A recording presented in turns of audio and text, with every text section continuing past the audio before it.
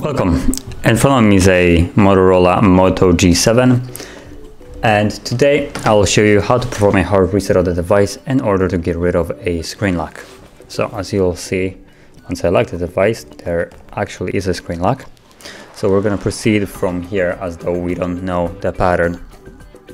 So you have to start off by powering off the device, so power key, and then select power off. And wait for it to shut off. Now once it's off, we'll then hold power key and volume down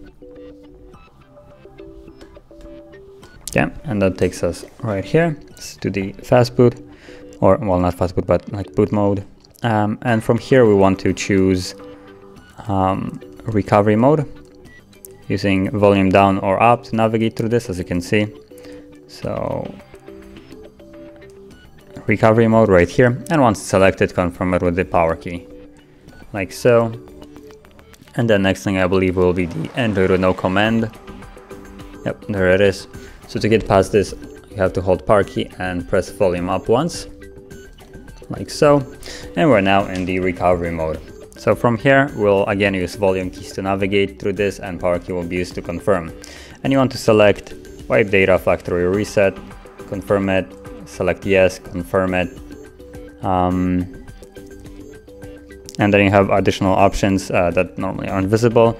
So uh, user data only or user data and personalized content. So cycle the second one uh, with personalized content and confirm it. You'll get a dialog box on the bottom and data wipe complete should be the last thing. And reboot system now will be then selected by default. So all you really need to do now is press power key once more and the device will reboot while continuing the process in the background. So it will take a little bit longer for the device to turn back on than it normally does. So just be patient. And I'll be back once we're in the setup screen.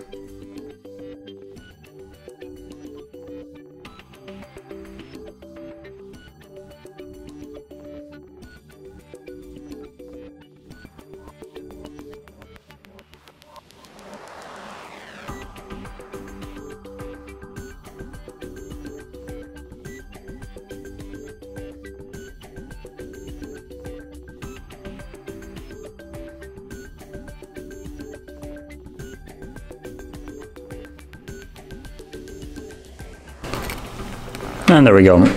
So now the process is finished. I'm gonna go through the setup process uh, really quickly just to go to the home screen while skipping everything that I can.